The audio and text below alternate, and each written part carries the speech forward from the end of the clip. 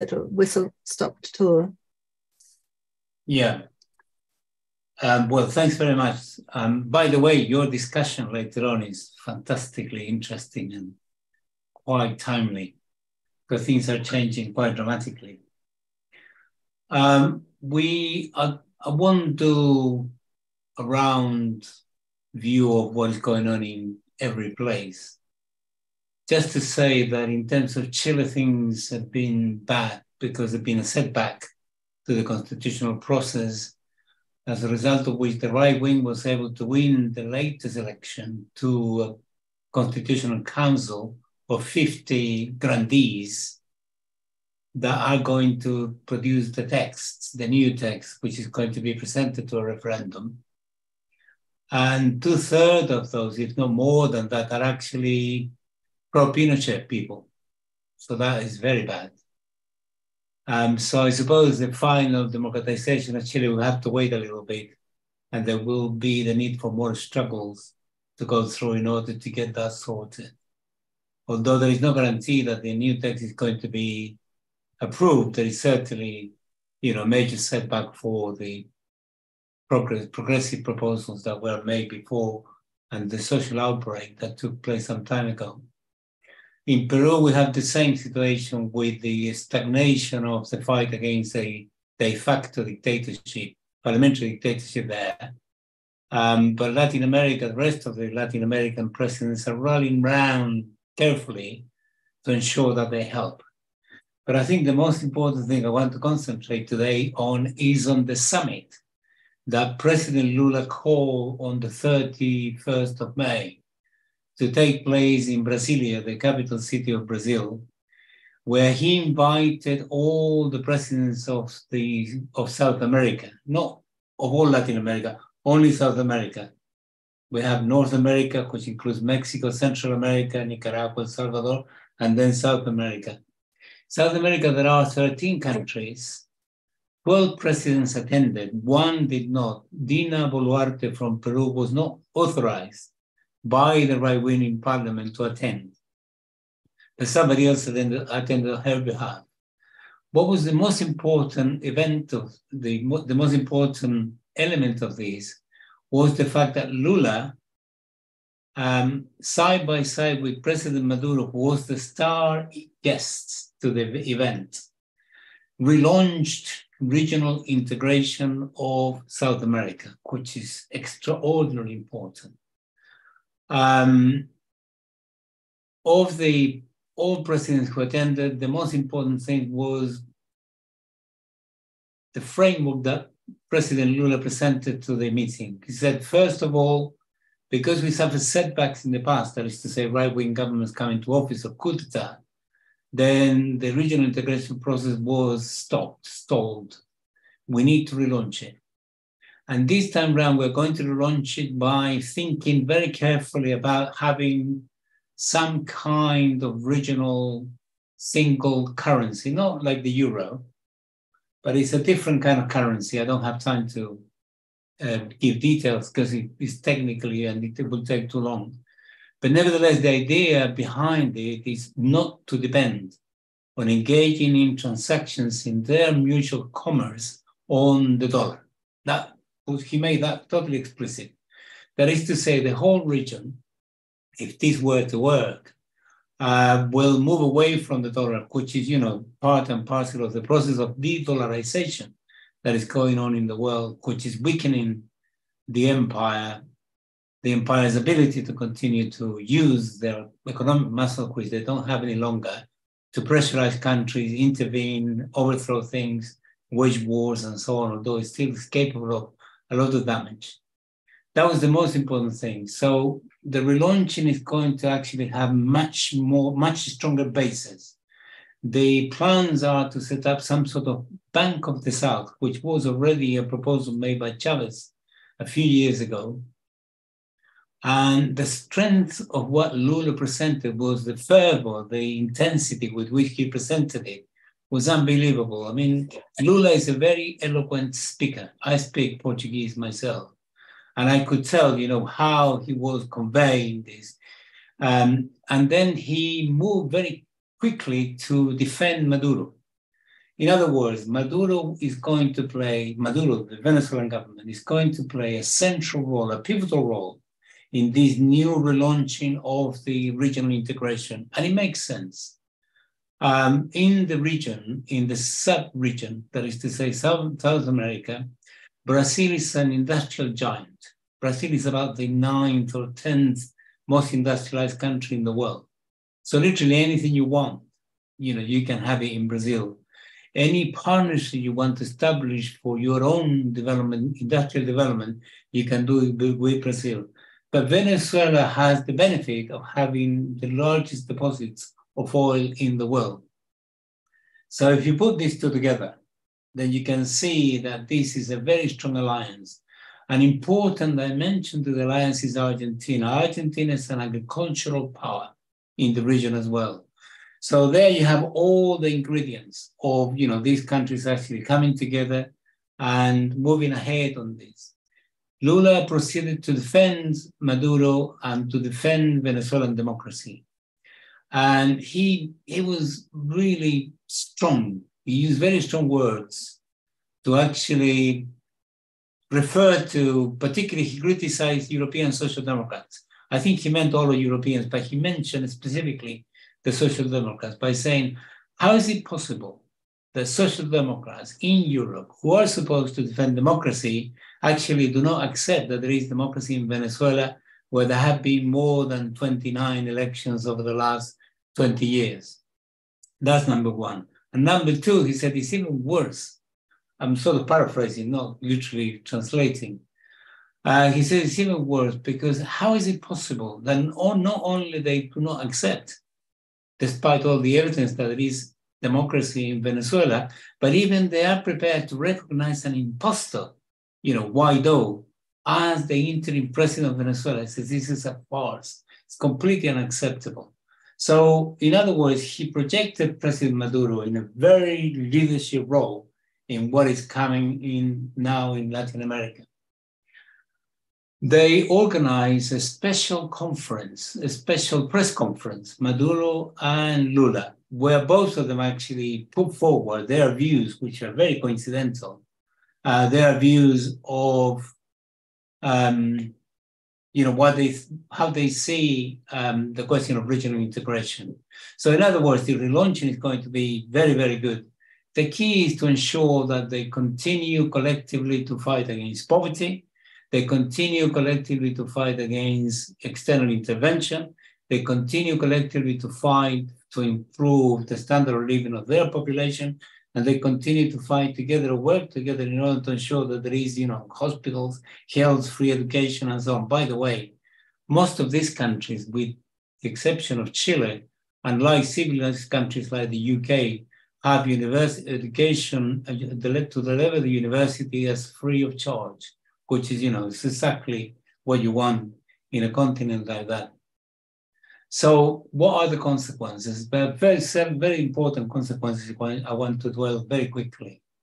Number one, Lula in the various pronouncements that he made, made a sort of off the cuff suggestion that it would be a good idea perhaps if Venezuela were to join the BRICS, you know, and Brazil, Russia, India, China, and South Africa, these new emerging economies and international collaboration that is, is emerging very strongly. And Maduro said, I'm quite delighted to join right away. Next day, China and Russia publicly said, we will be delighted to accept Venezuela into the BRICS. That's very important. But there is a more important dimension which has been missed by the corporate media. The banks of the BRICS is called the New Development Bank, and it's a bank for development, for social and economic and infrastructural development. And it is called the New Development Bank. And Lula, some time ago, I'm talking about a couple of months ago, proposed that the person who were to be appointed president of the New Development Bank is Dilma Rousseff, former female president of Brazil and she is now appointed officially as the president. So Brazil is going to be the mechanism through which Latin America, in this relaunching of the regional integration process, is going to have access to some of those resources. And it's going to have that connection right away. Um, so you can imagine this is extraordinarily important. Number one is a massive blow to US policy of trying to overthrow, demonize, uh, and punish Venezuela for the audacity of looking for an alternative path. So this is a serious blow to that objective. That's number one.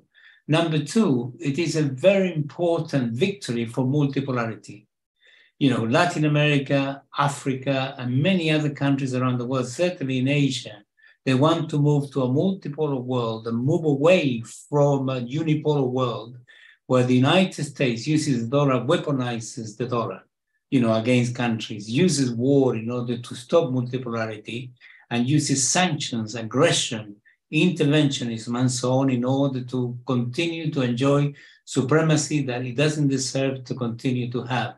So this is another important, quite important blow to the intentions of the United States, you know, to have um, to have a unipolar world which, where they command. It is problematical in the following sense, given that this is another blow to the supremacy of the United States, which is already severely weakened, then they're likely to continue to become even more aggressive than before. So expect the worst, although hope for the best. Nevertheless, in terms of Latin America, this consolidates quite substantially around Brazil, which is an industrial giant, which is a massive country, um, you know, the regional integration process, which is the only way in which Latin America is going to be able to actually defeat and destroy and overcome finally neoliberal policies, which are the main problem that we have. It's quite important. Let me finish with this point. If you take the whole of the combined GDP of all the Latin American countries together, this is including Mexico all the way down, the totality of that is about five trillion, six trillion dollars. Brazil GDP alone represents 1.6 trillion out of that total. So that gives you an idea of you know how important it is to have Brazil on our side and how important it is to actually make an alliance with them this means also that the possibility of dismantling Bolsonaro, fascist currents, and so on has become substantially easier and it's going to be much better. And I worry about Europe. So uh, we are thinking in Europe that perhaps what we need to do is to set up a solidarity campaign with the Europeans because they've been hit so badly and they don't seem to be able to defend themselves that well. I'll finish with that sarcasm. Thank you. Thanks very much, Francesco. Um, have anybody got any quick questions, Francesco, before we go on? I think it was very comprehensive what you said. So I'm not sure there are any questions that are really relevant, but if not, we'll move on. And I was just going to ask um, Francis King, who's one of the editors of the special issue, um, if you wanted to say a couple of words. Oh yeah, afternoon everybody. Can you hear me all? Yeah, that's fine. It's good. Thank you, Francis. Excellent. Yeah. Yeah. I, I just wanted to say a few words about the, oh, the Socialist History Society and it, it, its kind of track record in, in, in dealing with, with, with, uh, Caribbean labour history. And to sort of pay tribute to one of our former members who was the, uh, if you like, the, um, the main driving force in that, Richard Hart. Uh, because prior to doing this special issue on socialism in the uh, English speaking Caribbean, we published three of, uh, of Richard's pamphlets. The first one we did was about the labor rebellions of the 1930s in the uh, uh, British Caribbean region colonies. He then gave, uh, wrote a very uh, enlightening and uh, interesting memoir of his time as Attorney General in revolutionary Grenada before finally doing a, um, a, a survey of Caribbean workers' struggle overall. The first two pamphlets we published jointly with Caribbean Labour Solidarity. The final one we published jointly with Bogle-L'Ouverture. And so this was this was, if you like, the society's background in in uh, in in, uh, in, working on this and what kind of inspired well me in the first instance to um, launch a call for papers on socialism in the English-speaking Caribbean. Because one thing that Richard's work really kind of brought out, I always thought, was the distinctiveness of the Caribbean socialist movement, the distinctiveness of that, of that experience. It wasn't simply uh, a movement that was kind of brought in from uh, from outside, but one which was sort of in, uh, grew up organically within within the different Caribbean societies. This was something which, which really brought home uh, in, in all the stuff we published and what made it seem seem a sensible idea to uh, try to explore this more with this call for papers. And we were very pleased um, with the response we got. We held in March uh, last year three uh, uh consecutive seminars uh, in which Ozzi and Ben and, and, and several other people uh, gave papers, of which we then selected four, which seemed to be the most appropriate for, for, for the journal. We're very pleased with the way that the way that turned out and the uh, the the um, cooperation we had with Caribbean Labour Solidarity throughout this uh, throughout this process. Um, so, yeah, we have plenty of copies of the what we ended up producing, the journals on socialism in the English-speaking Caribbean, with uh, Ozzi's uh, history of socialism in the English-speaking Caribbean, uh, Ben's Black Power and Socialism in the West Indies, as well as paper, uh, articles by Lorraine Thomas on politics and Caribbean literature, concentrating particularly on the literature of St. Vincent, and Anel Eccles-Baines' uh, study of the um, problems faced by revolutionary Cuba, Nicaragua, uh, and Grenada uh, under the eagle's eye, the eagle being the United States uh, of America. So this is the uh, this is the stuff that we've been producing in the Socialist History Society. The journal, uh, as I said, is available and I'll uh, within the UK it can be uh, we, we, can send it to you post free for uh, eight pounds. Uh, the other publications, the first two we did uh, about the labour struggles of the 1930s and uh, the um, Richard's experience in Grenada are out of print, but they are available on our website. So you can download the you can download the PDFs or download the text. Caribbean workers' struggles is also is also available for purchase, and I shall I shall I shall put the bank details in the chat if any if anyone's interested. Uh, that's all I've got to say. So um, thank you very much for your attention. Thanks very much, Francis. Um, I've had a quick look at the at the um, publication. I think it's really impressive. Um, I'm now going to move on to the first speaker, um, which is Ozzi Warwick. Um, the Chief Education and uh, Research Officer at the Oilfields um, Trade Union. Um, Ozzi, you've got about 20 minutes. Um, I don't know how going to compress your really comprehensive article into that, but luck. yeah, thanks, thanks a lot, um, Nadine.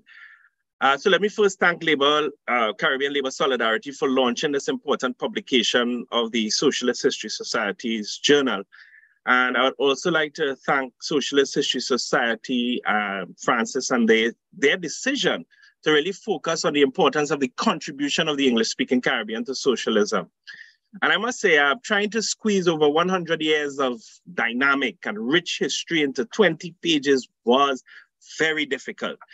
And I really have to thank the uh, Socialist History Society's editorial team, uh, Francis, Christian, Michael, uh, who helped make the impossible possible. Now, in the paper, I wanted to approach this history of socialism in the English speaking Caribbean as a movement of the Caribbean proletarian consciousness and show that really this movement was driven by class antagonism and a common vision for an independent West Indian nation able to determine its own destiny on the principles of at least social and economic justice. So starting with the material conditions in that part of the paper, I wanted to show four things. One is the characterization of the Caribbean economy as a plantation economy. Uh, two, that the small settlements uh, grew into really widespread system of production. Uh, three, it was a form of primitive uh, capital accumulation. And four, understanding colonialism as a system of empire. And what did that mean for, for the people? Extremely low wages that fell even below subsistence level. The reproduction of daily life was challenged by inadequate rights to land, uh, rents and taxes were very high. You had legal and social restrictions on acquiring land, which led to a proletarianization of the newly freed slaves, which in turn gave rise to a high number of what Marx called the reserved army of unemployed.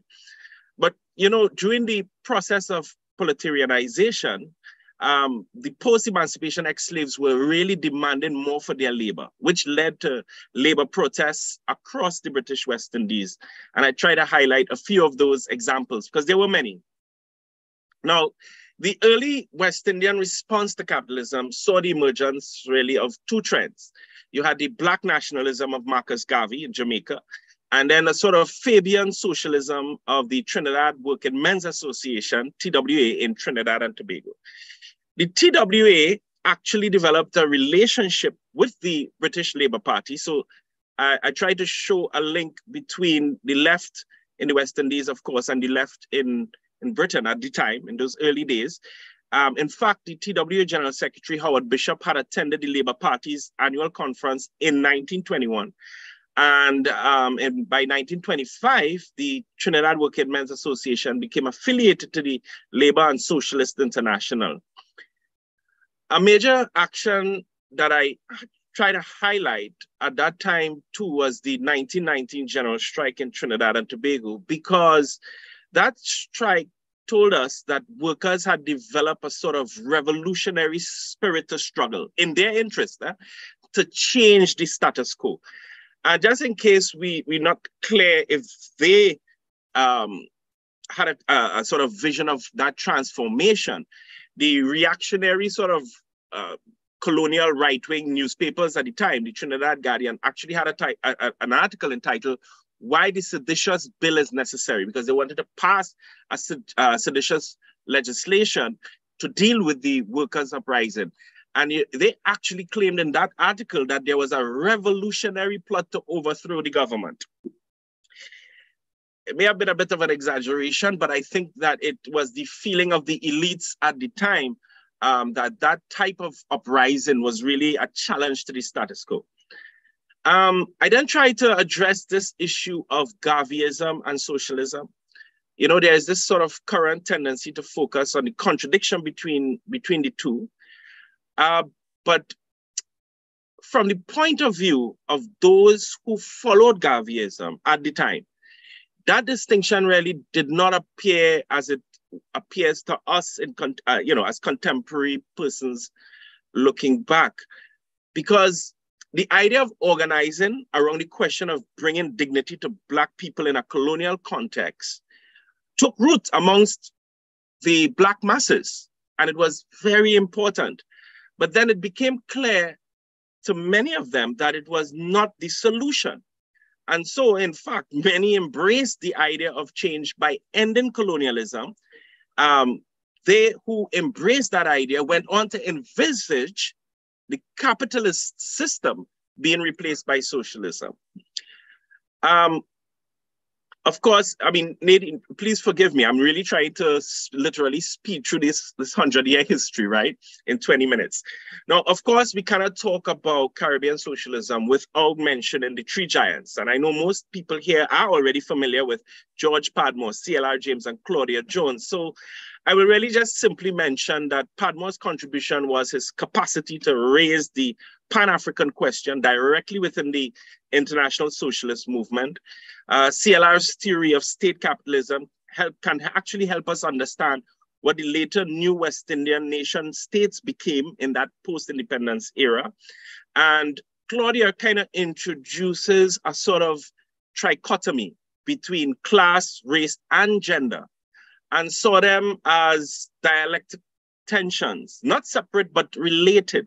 And but what is really interested interesting in her contribution is that she saw that that uh, tension can be resolved only through communism.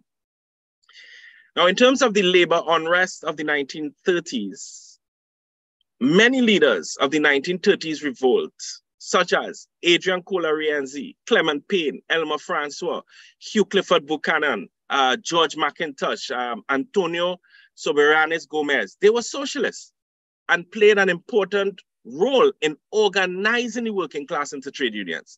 So whilst it is generally accepted that the labor unrest in the 1930s was a critical turning point in West Indian history, I think that there's less recognition of the role of socialists in leading the unrest and in organizing and establishing the labor unions that emerged out of that unrest. The 1930s unrest was revolutionary in the sense that the people that led it were very clear that democracy cannot be achieved without social and economic justice for the majority of the working people. And of course, then came the uh, Second World War. Coming out of the Second World War, British Caribbean had to contend with about five things. And, and I tried to show that in the paper. One, colonial dominance. Two, this um, the Western imperialist powers had won the war, so there was this euphoria of victory, or arrogance of victory. Um, Keynesian capitalism, the emergence of the Bretton Woods financial architecture, and the Cold War.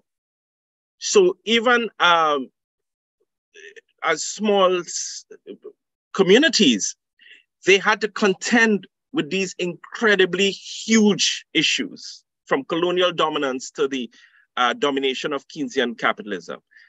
But during that post-war era of dominant Keynesian capitalism and continuation of con colonialism, because the British Empire was still at, at a high level at the time. And then you had, of course, the emergence of um, the massive industrial uh, capitalism of the US the working class in the West Indies continued to be very active in attempting to advance the agenda of self-determination and greater social justice. And there are examples of that. So in, in that regard, I want to mention two institutions briefly, very briefly, which is the Caribbean Labor Congress and the West Indian Federation. As far back, even before the war, in 1938, there was a Caribbean Labor Council that met in Guyana and as far back as 1938, they had called for a West Indian Federation as a response to colonialism. And in fact, uh, this call for a West Indian Federation had a lot of theoretical support from key um, Marxists, such in particular CLR James, right? Now, right at the end of the war, with the Caribbean Labor Congress being officially formed, interestingly, at its first conference, this is the first conference, Grantley Adams, eh, but now remember, this is in 1945, right? Grantley Adams and a number of the other leaders will go on to do some some very interesting things that uh, that, that really turned out to be sort of counter-revolutionary. But in 1945, they had declared that there is no hope, and this is a direct quote, um, quote there is no hope for the West Indies unless they became a socialist commonwealth. I'll let that resonate with the audience a bit. I find that that was such an uh, a pointed statement. But in the end, in the end, a politically united West Indies actually gave way to what was a growing insular bourgeois nationalism. And that, I argued, is what led to the Federation's uh, demise. Some of the um, major challenges for socialism in the West Indies, especially in that Cold War era, one of the major challenges for the newly independent West Indian nation states was their integration into the global capitalist system. You know, they have to balance now, on one hand, this high expectation of the masses in terms of what comes with independence. But then on the other hand, they had to contend with and uh, becoming more entrenched into the global capitalist system. Now, much of the tensions uh, between the various forms of socialisms that emerged within the um, Caribbean lay in the really inherent contradiction in which colonial societies found themselves even as they emerge as independent uh, small nation states, facing, as I said, globalizing uh, capitalism, and but also new forms of imperialism that was taking shape. Um, and we haven't even reached the era of neoliberalism yet. I'll, I'll come to that a, a little later on. Uh, but as bourgeois ideas took root and controlled the ideological arm of these new states, whether it's the media, education, culture, etc., uh, this really de- resulted in a diverse socialisms, if you may, of the West Indies. By the 1950s, the socialist leaning organizations had, be- had been systematically weakened. The pressure from Western imperialist powers and the US influence in its so called backyard was really being felt throughout the region. Um, so that by the uh, mid to late 50s, what you had was the West Indian Independence Party in Trinidad and Tobago had collapsed. The PNP in Jamaica expelled its leading Marxist. In Guyana, the democratically elected P, uh, People Progressive Party was forced out of office. Then the PPP would later split. The Barbados Labour Party lost some 26 key leaders who went on to form the Democratic Labour Party. Now, just to go back to Guyana in, in terms of its three socialist trends. Now, on the 27th of April, 1953, Cheddi Jagan became the first Marxist to be elected as a head of state in the region. But with the US and UK support, Cheddi was unceremoniously removed from office. He's the democratically elected um, lead, uh, president. Huh? And then, so then Guyana then became the sort of battleground of three contending visions of socialism. Now, some argue that some of the um, visions articulated may not be necessarily socialisms, but I'm I wanted to take it from, from their perspective, how, how they were seeing it. So you had Cheddi Jagan and the PPP who create what he called a genuine socialist society. Uh, the basic program of the PPP was anti-imperialist, uh, pro-democratic, and pro-socialist. Now remember, I'm speaking about the 50s. I'm not talking about current.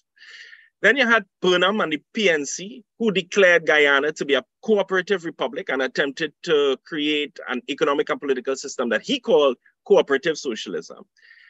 And, um, and then you had a third, more radical strand that emerged uh, with Walter Rodney and the Working People's Alliance.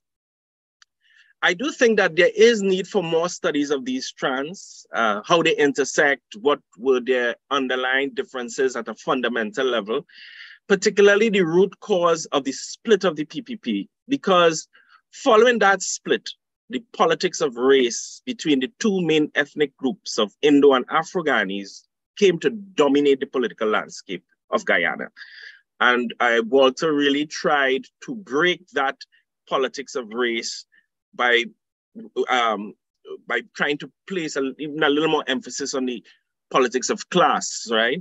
But the race politics, no pun intended, trumped the class question. And of course, the brutal murder of Walter Rodney on the 13th of June 1980 and its implications, not only for Guyana, but for the entire region, I think needs uh, a lot more uh, looking into an analysis, but from a socialist perspective. Um, because one of the things we always have to be careful of is that we have bourgeois historians writing the history of the left. I think that that is something we have to guard carefully against, which is why I really welcome this particular special issue of the journal. The other country to be impacted by reactionary politics of race was Trinidad and Tobago um, having Trinidad and Tobago having achieved universal adult suffrage as a result of the labor unrest in 37 held its first elections on that basis in 1946. And almost all the parties involved were left and labor leaning.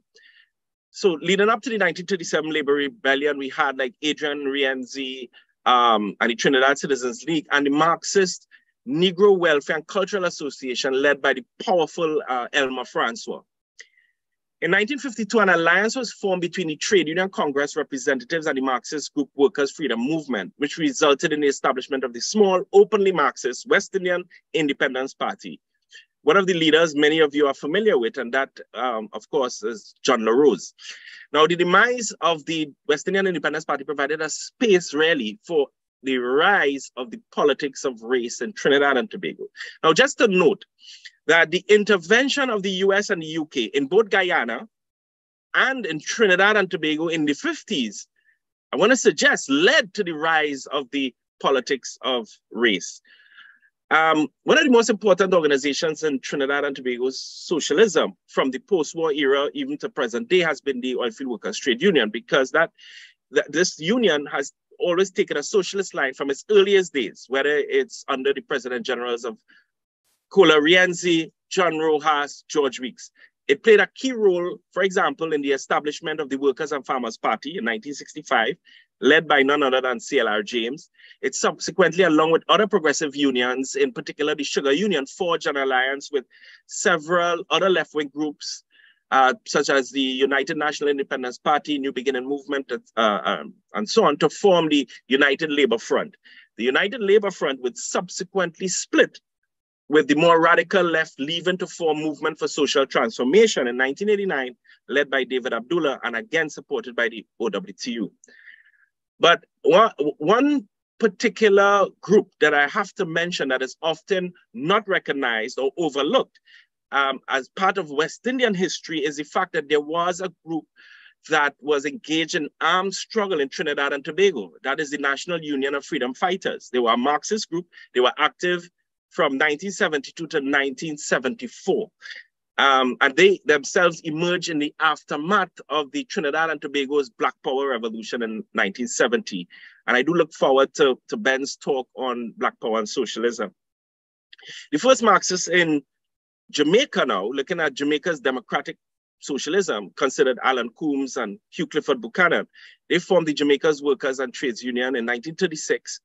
Um, following the labor rebellion. And then Norman Manley went on to form the People's National Party, PNP, in the tradition of sort of British Fabian socialism. Although uh, Marxists like Frank Hill and we heard Richard Hart had also had joined that party, but of course we heard, as I mentioned, were expelled in, by 1954. Manley and the PNP would later compromise with capital in the belief that capital could be co-opted to realize the PNP socialist aims in government. They would go on to rule from 55 to 72. And by 1972, the PNP declared democratic socialism as their path, adopting a sort of gradualist strategy of social change, but without fundamentally changing the economic uh, powers, um, power structures. Now, I did mention in terms of the smaller islands like Antigua, St. Lucia. So I talked about the contribution of Tim Hector, who founded the Antigua Caribbean Labor Movement. Um, and then we had George Odlum from St. Lucia. Uh, there another significant group in St. Lucia was the Workers' Revolutionary Movement that was founded in 1976. Now, on the 13th of March 1979, the New Jewel movement overthrew the government of Grenada in a revolution, making Grenada the only socialist state within the Commonwealth, and is considered one of the most significant events in the history of English-speaking socialism. Um, but I just want to say that really. Um, whilst the both sides had agreed, there was some uh, tensions because the New Jewel movement itself was an amalgam of several organizations, right? Which had a tension between a sort of Jamesian model of mass party with a with democratic structures embedded in communities and a more Marxist Leninist vanguard party line. And I think that tension just could not have could not it was not could not be resolved. And I had argued that the different socialists and Marxists throughout the region, they took positions on one side or the other, which really led to a quick collapse of the revolution and also made it impossible to find a united socialist response to defend the revolution, which came to a brutal and bloody end with the murder of Prime Minister Maurice Bishop and members of his cabinet. So I'm coming to conclude because I'm still trying to keep within my 20 minutes, right? The study of the socialist movement among Caribbean people is vital. And the history of class relations and class struggle is the, uh, the crucial question. The internal class dynamic in the formation of organized labor itself produced strong resistance to any transition to socialism within the various territories and even within parties and organizations that declare themselves socialist. Um, the fact is that socialism in the English speaking Caribbean has been in retreat since the fall of the Grenadian Revolution, but more importantly, with the rise of neoliberal economic hegemony. And there's been a, quite a bit of critique of it, um, of, of socialism, but I said that if you read, most of those critiques are pre-2008. So what is required is a post-2008 analysis because uh, the crisis of capital is really, I think, will try, will, will should provide a, a different framework of how we understand the possible emergence of a sort of renewed socialist agenda in our contemporary time, right? Um, so before I close, let me just play for a few minutes. Well, I have just about two more minutes, right? just two short excerpts from um, two calypsos. One that I think captured a historical moment with the coming of the high point of socialism in English speaking Caribbean uh, by Brother Valentino. So I, I will just, um, just quickly share that with everyone.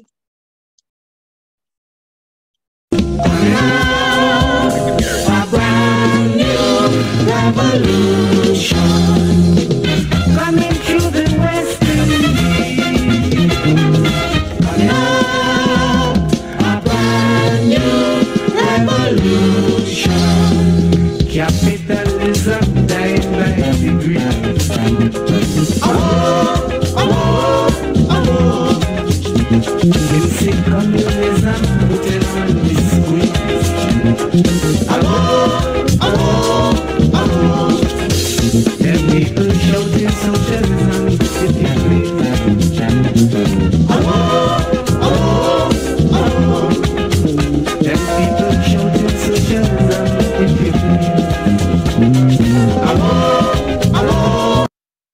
so that was 1979.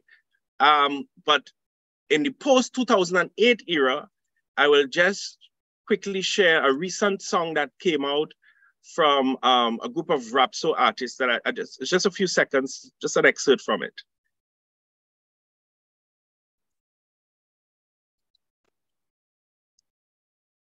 By the way, you all heard the first one, right? Yeah, okay, great. Down in the valley of decision, all man have to take the possession.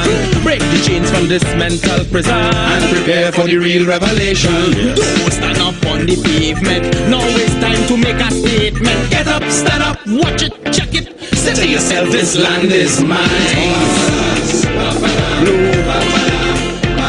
Hey.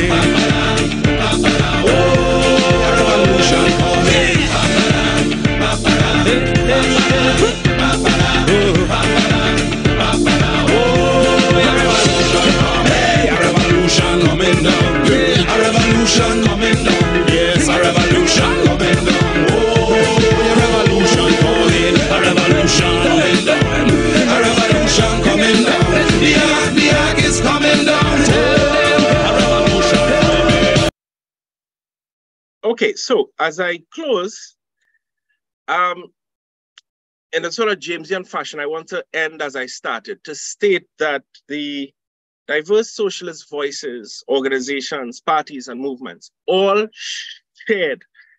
And I want to suggest that we still share this common vision for a truly independent West Indian society able to determine its own destiny on the principles of social and economic justice. Thank you.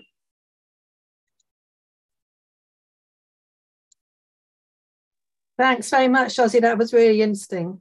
Um, and we're going to take questions later on, but I'm going to move on to Ben.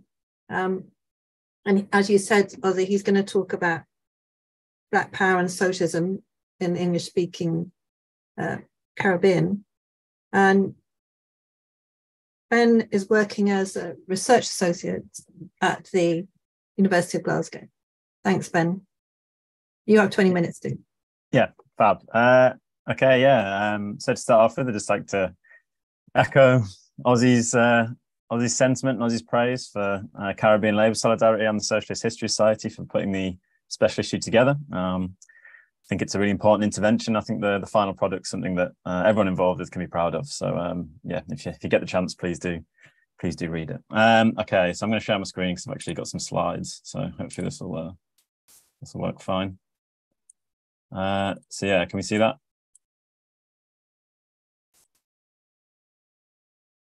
Yeah. Okay, all right, let's go back to start. It usually helps. Okay.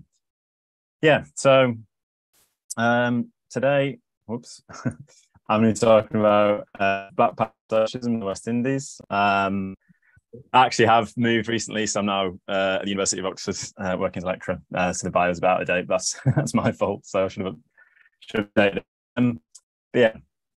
So to start with, then, um, Black power, as expressed in the West Indies, first erupted into the region's popular consciousness in October 1968, uh, following what were termed the Rodney riots in Kingston, Jamaica. These riots began as a protest march instigated by University of the West Indies students following the banning of Guyanese intellectual, key Black Power theorist, and socialist historian Walter Rodney from the island. Violence broke out in the afternoon after marchers were subjected to police attacks and the protesters' ranks were swelled by demonstrators from Kingston's poorer neighbourhoods. I suggest that we can understand the Rodney riots and the popular emergence of Black Power in the West Indies in the context of the 1968 moment, if you like. Um, and this is a framing that's been utilised by the Caribbean Canadian scholar David Austin uh, in his study of Black Power in uh, Canada and the Congress of Black Writers in Montreal. Um, so yeah, Austin reminds us that 1968 was an epochal year, he says, for radical and left politics globally with the well-known events of that year, so the Tet Offensive in Vietnam, the French General Strike, Prague Spring, etc., seem to have constituted something of a high watermark. The 1960s saw a proliferation of anti-colonial, anti-based, anti-racist struggles globally, from the solidification of the Cuban Revolution to the liberation wars against Portuguese imperialism in Africa and the civil rights and Black Power movements in the United States. These events had significant impact on the articulation of socialist politics through Black Power in the West Indies. Many involved in the movement had visited Cuba and or had contact with radical African American figures in the United States. Similarly, a consistent focus on African liberation wars and the Marxist-Leninist groups who were oftentimes waging them presaged a move towards that form of organization in later years. Of course, the events and political movements of 1968, whilst novel, did not emerge sui generis, right? They're not something sort of totally new. Uh, and the political tendencies that emerged into popular consciousness at this time in the West Indies represented reformulations and rearticulations of long-standing historical currents. Um, and in the Caribbean context, the long history of socialist politics in the region prior to the late 1960s has been well attested to by Ozzi, as, as we've just heard. And so this is sort of the, the setting for uh, how Black Power emerges. So the political projects of anti-capitalism, anti-racism, and anti-imperialism were nothing new in the Caribbean in 1968. However, their specific formulation and articulation through a politics of Black Power did represent something unique. And it's with this framing that I've sought to understand how Black Power in the West Indies um, emerged and, and, and was articulated, as I've said. And today I hope to briefly sketch out how this developed uh, and, and sort of go through some specific examples that I discuss in the in the paper as well. Uh, so to start off with then, um,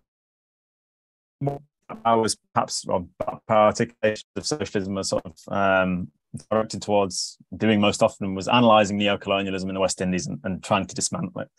And so with independence for Jamaica and Trinidad and Tobago in 1962, um, the political or the age of political independence began in the region. And, and by the time the Black Power movement in the West Indies really gets going in the late 1960s, Guyana and Barbados had also gained independence as well.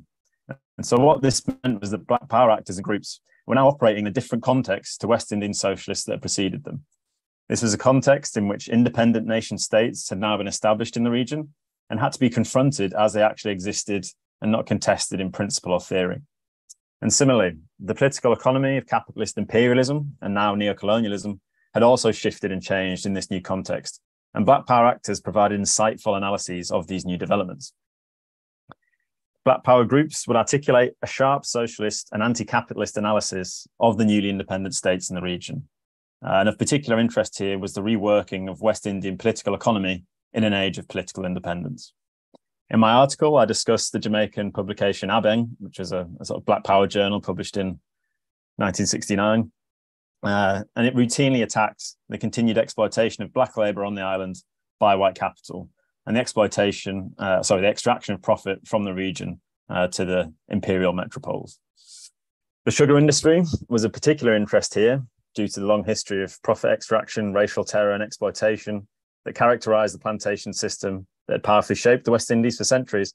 However, new industries were also considered. Uh, so the mining of bauxite which began in significant ways in the 1950s, uh, primarily in Jamaica, was understood as representing a more modern reformulation of these long-standing relations of capitalist and racial exploitation uh, consolidated in the earlier form uh, in the shape of the sugar plantation. The primary profiteers of this new industry were Canadian and American firms. And again, this was understood by Black Power actors to be representative of the shifting balance of power within the imperialist world system uh, after the end of the Second World War, uh, and sort of which had been consolidated by the 60s. And so the United States was now the global capitalist hegemon, and the economies of the West Indies would be reoriented around this new pole uh, and away from Britain as the former colonial power. Further, in Abeng, this, uh, this Black Power journal I'm discussing, uh, political economic assessment of Jamaica and the wider region, there's a sharp focus on the role of the Jamaican government as an independent government uh, and petty bourgeoisie in the reproduction of relations of dependency after independence. Uh, as they termed it, the Jamaican slave government uh, and its class allies that cooperated with foreign capital in perpetrating injustices against the people uh, were the subject of a sharp neo-colonial analysis. These assessments of West Indian neocolonialism are developed in the work of the Black Power movement and the West Indies key think- thinkers. Um, and sort of paramount and foremost here uh, would be Walter Rodney. Um, and so in his highly influential text, The Groundings of My Brothers, um, he developed a sharp critique of the post-independent settlements uh, of the West Indies that were emerging during this time. And so for Rodney, an analysis of neocolonialism was central in his formulation and assessment of Black Power politics in the region. Rodney deployed a core periphery model of a world shaped by imperialism, where, quote, every country in the dominant metropolitan areas has a large majority of whites, so the USA, Britain, France, etc., whereas every country in the dominated colonial areas has an overwhelming majority of non-whites, as in most of Asia, Africa, and the West Indies, unquote. And whilst this analysis could be applied to the colonial period, Rodney develops his thinking for the period of decolonization. Uh, he countered the notion that independence in and of itself meant power for the colonial world, so formerly colonized world. Um, and Rodney stated that black men ruling dependent states were, quote, simply agents of the whites in the metropolis with an army and a police force designed to maintain the imperialist way of doing things in that particular colonial area. Building on this, uh, in, in, future articles that I discussed in the paper, um, Rodney sort of develops a Fanonian, uh, uh, or develops Frantz Fanon's conception of neo-colonial politics as a process of retrogression, um, which he applies to the post-colonial Caribbean. The most significant factor that Rodney saw in shaping the situation uh, was the consolidation of the petty bourgeoisie as a class around the state, in his terms. Rodney saw that in the West Indies, independence had led to the strategic control of the state by an emergent black middle class that was bureaucratic, careerist, and that leverages state control to consolidate their position as members of the petty bourgeoisie. Control of the state and political institutions secured the class reproduction of this sector of the petty bourgeois.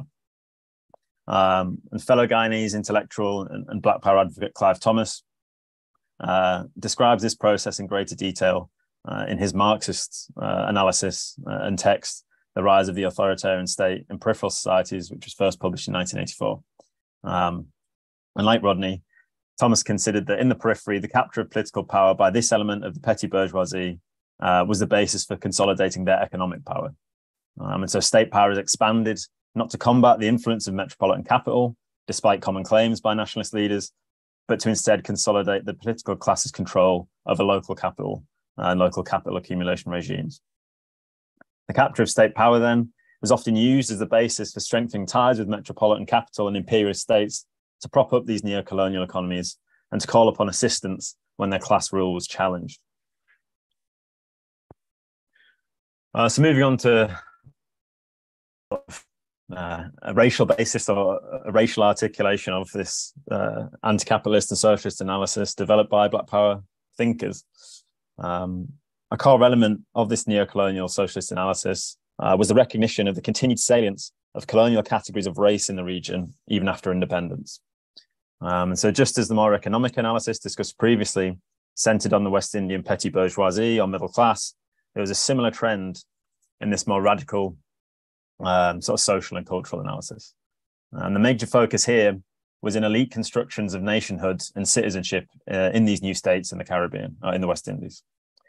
Um, and so CLR James, uh, who's sort of drawn on widely by these various Black Power groups um, and thinkers, noted in his analysis of this uh, sector uh, of West Indian society that the political culture of middle class nationalists was one of deference and imitation of the British colonial estate, sorry, state to advance through the bureaucratic ranks. Um, and so this meant, in his assessment, that West Indian nationalist parties and their middle class leadership were viewed as a legitimate and safe option during the decolonisation process, uh, in part because of their uptake and mastery of British culture, political forms, and statecraft. Um, you know, and might contrast this to some of the more radical uh, socialist alternatives that were being articulated in the 40s, 50s um, that Ozzi discussed previously as well. Uh, but ultimately, for James, this meant that, quote, the social and psychological imprint of colonialism on the nationalist heir apparent was reinforced by the imperatives for legitimate su- succession to the colonial estate. Um, and so, in sum, this meant that nationality and citizenship remained embedded within colonial racial stereotypes and logics in the ideology of West Indian nationalist leaders and parties uh, of the sort of liberal mainstream character. Race as the central axis of social stratification within the British West Indies, um, you know, through the colonial period and, and under slavery and post emancipation up to independence. Um, and during constitutional decolonisation, um, the racial hierarchy instituted by the plantocracy and, and on the plantation wasn't dismantled, it was retained, albeit modified, uh, with the white colonizers now gone. And that was the sort of black power perspective on it, in sum. The post colonial nation state was headed by a political class which had gained its position by mastering and mirroring the political practices and culture of the imperial metropole. Um, and then its nationalist politics would seek to build modern nation states and national citizenries through the imitation of the liberal capitalist nationalisms of the imperial core, and in particular the British state and parliamentary system. And so analysis of this race politics of mainstream, quote unquote, West Indian post colonial nationalism can again be found in Abeng, which is the Black Power journal I was discussing earlier.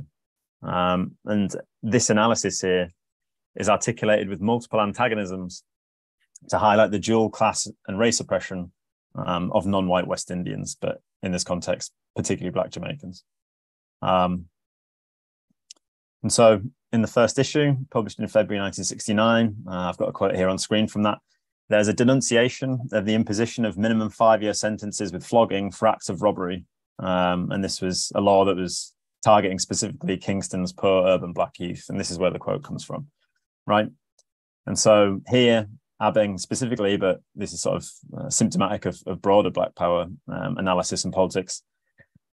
The crimes of the political middle class, which would be corruption, the selling out of national resources and labor to foreign capital, uh, are contrasted against the petty crimes of the, the poor, uh, racialized mass population. And so the neo-colonial state structure and the political economy upon which it rests was understood to be maintained and experienced through colonial logics of race and racism, even after independence. Um, and the continued colonial nature of the Jamaican state and criminal justice system are here being highlighted um, as Abeng, you know, discusses the, the handing down of sentences of flogging from independent West Indian governments um, and West Indian men uh, as an act of social discipline rooted in the same racist logics uh, and stereotypes of the slave plantation. Um, so moving on to kind of the second major thing I want to talk about today, and I discussed in the paper, and that would be the importance of transnational solidarity and, and third worldism within uh, Black Power and Black Power articulations of socialism. Um, and so the analysis of a world system of imperialism and its working through structures of race and racism that we've discussed so far that was developed by Black Power actors necessarily spurred the formation uh, of a transnational politics of solidarity with other socialist, anti-racist, and anti-colonial forces globally contesting these same um, oppressive structures. And so um, there's sort of two areas or t- two specific regions that I'll pick out here um, that were important to, to this movement, but Africa and the anti-imperialist and national liberation wars waged in the sort of 50s, 60s, 70s on the continent were a constant point of reference for West Indian Black Power groups. Um, and many of these struggles being waged in Africa, these anti colonial struggles, were being led by socialist or communist guerrillas and, and parties. Uh, and so Black Power groups were particularly interested in this. They reported on it all the time um, and extended uh, solidarity to these to these struggles. Um, and so the the picture I have there again comes from Abeng, but it's uh, comes from a regular column that was entitled African Battle Line, um, and it covered the many battles being fought in Africa. Um, that was its aim against foreign imperialist aggression and domination in the late 1960s. And with many of these struggles, as I said, led by socialist anti colonial revolutionaries. Um, just as a, a, way of an example, the March 1969 uh, article from Abeng, uh, the, the paper surveys the anti colonial wars being waged across Southern Africa. Um, and it highlighted in particular the struggle for liberation against Portuguese imperialism in Angola and Mozambique, with these efforts led by the communist aligned MPLA and Frelimo. Um, and in the same article, it's noted that there's an international reactionary alliance that opposed these freedom struggles. Um, so Ian Smith's Rhodesia, apartheid South Africa, and fascist Portugal were seen to be cooperating in the repression of black and socialist revolution across southern Africa, aided by some neo-colonial leaders of nominally independent African states. Um, and this reactionary coalition was said to construct themselves as, quote, the defenders of Christianity and civilization against black power and communism, unquote. Uh, and so in these anti-colonial struggles in Africa, the dual goals of black power and communism were seen to be tied by black power actors in the West Indies, with African socialists at the forefront of efforts to win these goals. This attaching of the black power label to anti-colonial movements in Africa was sort of a projection on the part of West Indian black power actors, but notably this fusion of Caribbean Pan-Africanists and black nationalist traditions with communist traditions or socialist traditions represented an authentic innovation on the part of West Indian black power. Okay, so sort of the final point to close out on would be um, Cuba, right? Um, so for black power actors in the West Indies who were interested in articulating socialist politics, there was a third worldist communist revolution far closer to home than Africa, and that was Cuba. And so this is a consistent point of reference in black power work and, and, and activism. And so the Cuban Revolution and its personification and figures such as Castro and, and Guevara were often understood as symbols of the global revolutionary upsurge that occurred throughout the 1960s and sort of culminated in 1968, as, as I was discussing earlier. Um, and so I've got some quotes from an oilfield workers um, paper here. It's official, it's official publication, the Vanguard. Um, and this is from an article from 1969 assessing these various revolutionary currents um, and, and this piece sort of positions Black youth across the world uh, as a catalyst for revolutionary change. And so the article noted that a protest march led by University of the West Indies students in Port Spain had been organized in response to the Smith regime of Rhodesia executing Black independence fighters. And so to quote the article, um, quote, in so doing, the students were defending the armed revolution of their Black brothers through their protests. And this article goes on to say that a global system of white capitalist imperialism is maintained by systematic violence, and thus violent struggle against it can be justified. In closing, the article draws strength from the examples of figures who opposed the oppressive world system. And this is the quote I have on screen here. Um, and so in this piece, we see the interconnection of a number of threads picked out in this paper and in this presentation. Um, so firstly, there's an analysis of world imperialism that is understood to oppress uh, subaltern groups along the mutually constitutive categories of race and class. This system was understood to be upheld by all manner of violent injustices uh, that necessitates revolutionary opposition to overcome it. Um, and finally, and interestingly, that blackness, uh, as identified by the quote, um, in many senses denoted a political subjectivity more than sort of phenotype in, in, in this instance. Um, and it could incorporate all manner of groups and identities through common experience of racial and class oppression or commitment to anti-imperialist, anti-capitalist and anti-racist struggle. Uh, so just to, to close out here, um, by the mid 70s, uh, the popular enthusiasm for Black Power had waned in the region and sort of globally, to be honest. Uh, and many figures and groups associated with the movement uh, in the region had either sort of disappeared or transitioned into more explicitly left political parties and movements. Uh, so many of them moved into Marxist Leninist parties, um, perhaps jettisoning the race consciousness and mass based politics of black power for the democratic centralism and vanguardism sorry, of the Leninist revolutionary organization.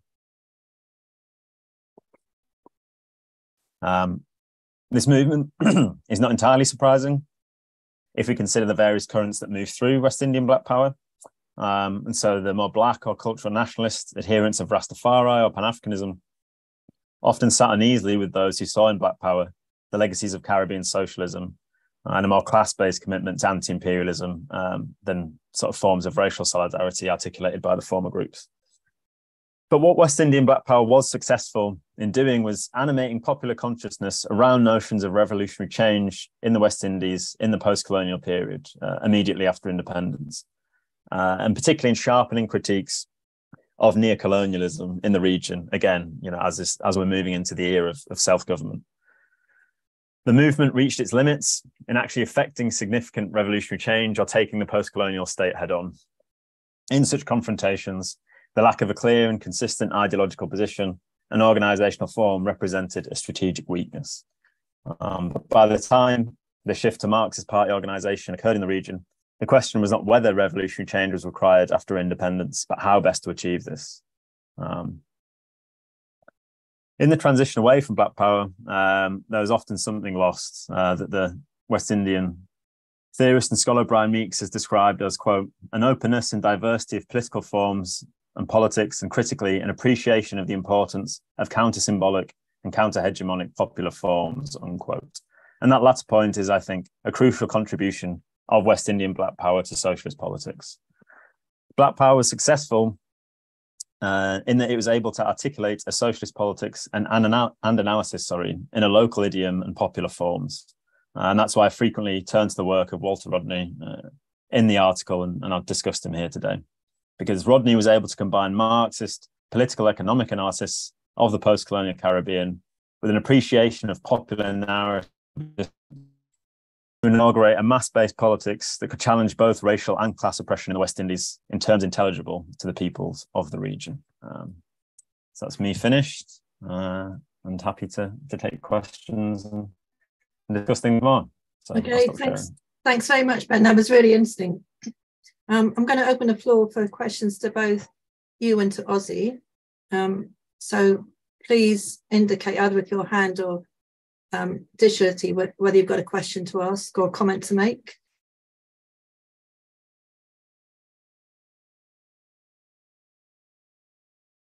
Is there anybody wants to raise a question to Ozzi? Or Luke, have you got your hand up?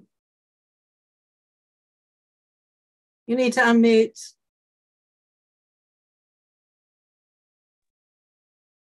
Thank you. Um, thanks to the speakers. I think it was already fantastic um, meeting so far, full of so many questions. More questions than answers, I think, that we can deliver today.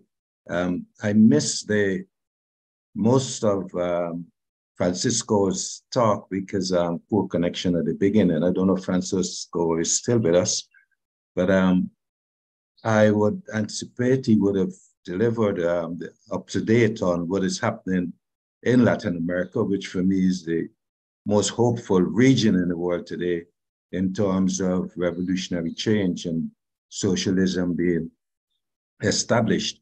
But the question I wanted to ask Francisco is what is happening with the um, Black Lives Movement in the region, and also about um, the movement for reparations for slavery and native genocide as it's um, coined now in the Caribbean. Um, and for Ozzi, I, I, had a question for you. Thanks for your presentation today. And I, I noticed you talked about the emergence of race politics, um, but you didn't, I know you didn't have much time, but actually to go into how that emergence um, came about. Um, and this is really referring to, especially in Guyana, Trinidad, with the mostly, you know, Afro and Indo populations, um, and the involvement of CIA and um, British intelligence in stirring up racial hatred um, during that period, because it's not something that emerged naturally. I think it was assisted in, in many ways. And for, uh, for Ben, I think um, also speaking on the, the, the whole Black Power movement and how that um, developed in the in, in, in the region. I thought there was some opposition even from within the the, the, the, the Caribbean, and certainly for me in Guyana growing up um, it was kind of like, you know, we've already got black power, you know, so this movement didn't seem to be relevant for us. And of course, you know, as you rightly pointed out, these neo-colonial um, structures that were put in place after colonialism wasn't really about empowering the masses. So I think, um, yes, I think that's really significant. And in terms of Walter Rodney's contribution throughout the, the entire region in, in his politics, and of course, you know, being banned from Jamaica because he was taking up um, that trying to take the message to the to the masses in the Dungle and so on. And how does that um, in, in some ways we see the way in which the neoliberals are still in control of the the political space um, unashamedly um, as I sit here in Jamaica, awarding themselves a 200% increase as politicians. Um, and sadly, not enough mass protests in the streets, in my opinion. It's such an outrageous um, position for, for them to take. And with the opposition party also not reacting strongly enough against it, says that um, there's still a lot of work to be done in fostering socialist ideals in the region. Okay, I'll end there. Thanks. So Francisco.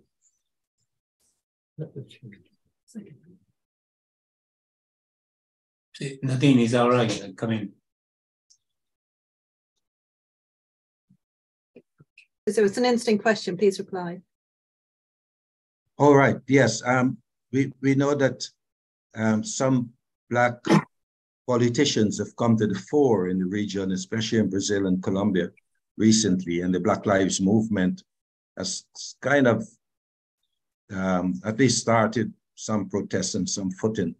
But I wondered if the what is happening with, around the reparations for slavery and native genocide movement, and is that gaining any traction in any of the countries in Latin America?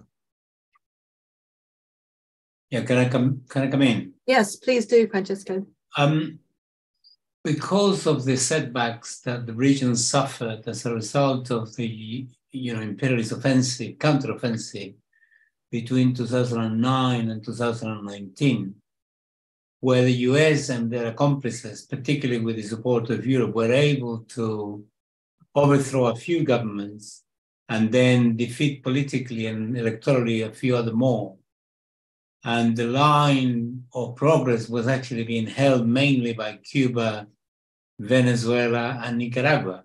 You know, Lula was more or less in prison. So all the movements in that region suffered a setback.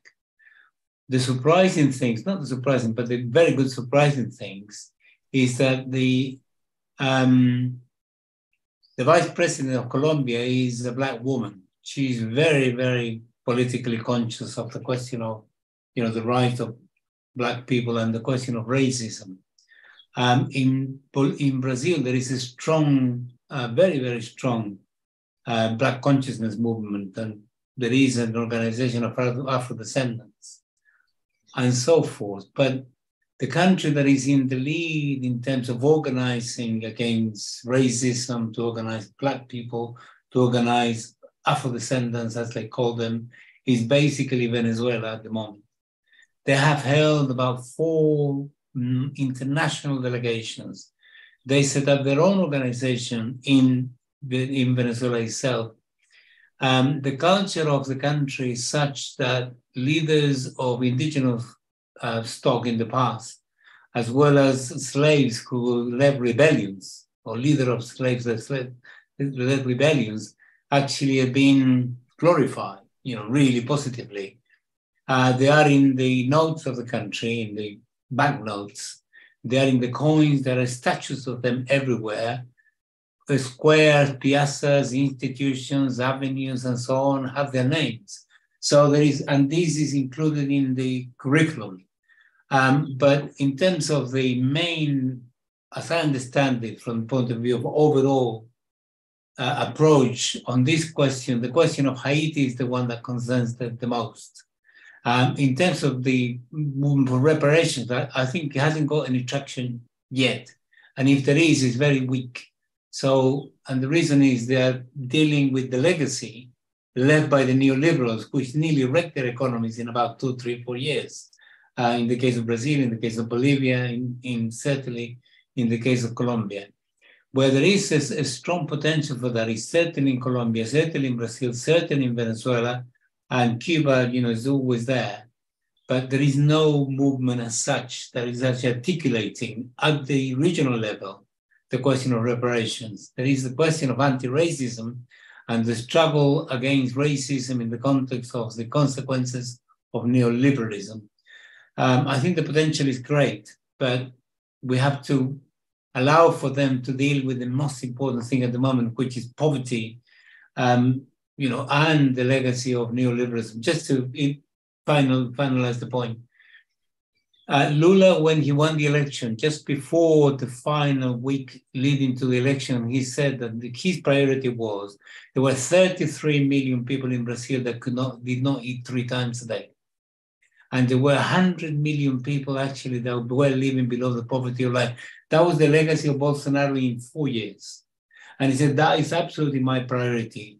And unless you're actually able to address those things, people who have a specific demand, such as the black population, would not be able to organize because they have to concentrate on day-to-day things. So I think it's going to, there is the potential there, but not yet. Can I ask a question? Yeah. On the presentations by Ozzi and by Please do. Just go, yeah. Yeah, it's it, it, came to. I mean, I'm my knowledge of the Caribbean and of the West Indies is not as great of, as that of the rest of Latin America.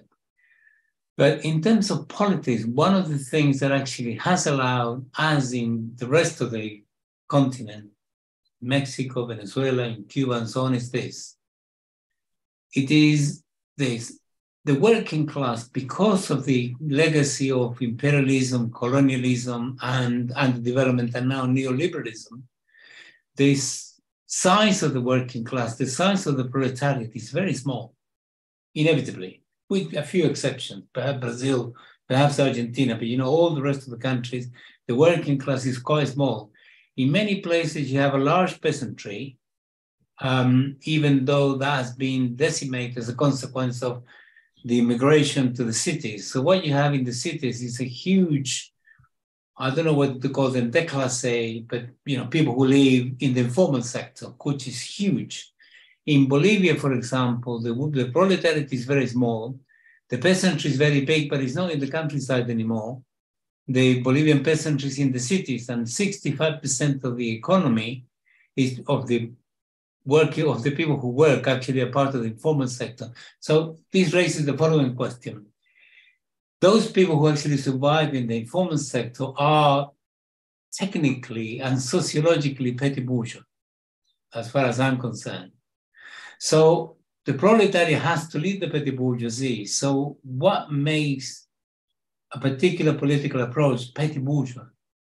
And how panel alliances of the kind needed, such as the proletariat, the petty bourgeoisie, and the peasantry, or equivalent, be able to form together to fight for this aspiration, which is the socialist solution to the problem of that the Caribbean has been facing, you know, for centuries. I'll leave there. Thank you. Thanks, Francisco. Uh, Ozzi, could I ask you to tackle these two rather large questions you've been asked by both Luke and Francesco. Yeah. Thanks, Luke and Francesco, for those very big questions.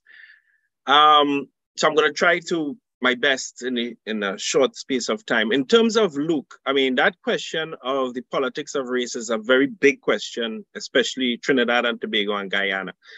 Now, I, I sort of browsed, I, I hinted to it, but I was on fast speed. So it, it went whoosh. So I, am glad you gave me an opportunity to go back to it a little bit. And I'm going to throw in Jamaica. I know it's going to sound strange, but I'm going to throw Jamaica in, and you'll hear why at the end. Now, in terms of Trinidad and Tobago and Guyana, I had mentioned we cannot overstate the intervention of the US and the UK in that period. Cannot overstate it. In fact, that those interventions were critical to lay a sort of what they would be considered a more moderate landscape to manage the independence. What, what do I mean? So let me start with Trinidad and Tobago. When we had our first elections in 46, and then again we had the next one in 50, the majority of the politics, the parties, and the persons who went up and won seats in the Legislative Council were socialists or labor leading, right? And coming, especially coming out of the 1950 elections, you had the formation. Now, when, when I say there was socialists, it, it means it had Indo and Afro uh, Trinbagonians in the same camp. So even Butler, Butler's party at the time, you had both Indo and Afro together, right, who won seats. Same thing happened in 1950. Um, and then in 52, with the emergence of the West Indian Independence Party, um, you really had an amalgamation of, you had people like Olai Mohammed, who was part of the leadership of, of, of the West Indian Independence Party. You had um, people like Lennox Pierre. You had um, Quintin O'Connor, John Rojas. So the, the race question wasn't there. The class question was. And so what happened is the US and the UK State, um, State Department intervened and told the leadership of the West Indian Independence Party, because they were also leaders of trade unions, by threatening the pay, the checkoff system, basically told them you have to choose either the, you're a leader of trade unions, so either you do your trade union work, but you see this party politic class politic work, forget it. With that in the, uh, intervention, very specific, concrete intervention, it led to the demise of the West Indian Independence Party. Now, because of that, as now remember the date, that is 1952. As a result of that, it created a space for the emergence of a sort of bourgeois nationalism. And then you see the emergence of the People's National Movement and then you had the Democratic Labor Front. So you see the division into political camps on the basis of race, not class, as a result of that intervention. In 1953, as that was Trinidad and Tobago.